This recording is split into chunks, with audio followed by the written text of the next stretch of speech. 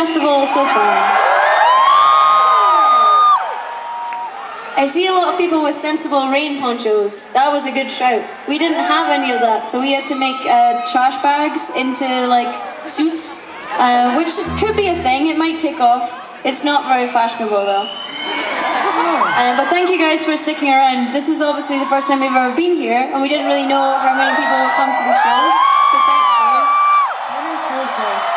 Saved the best to last, maybe? Yeah. And people made signs, which is nice. I enjoy the flag. The message, I'm not gonna do that, like, no offense.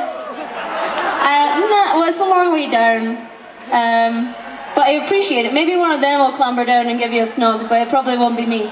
I'll Sorry. kiss you. I air kiss to the general public, but not specifically for one person. There you go. Just take it. That's fine.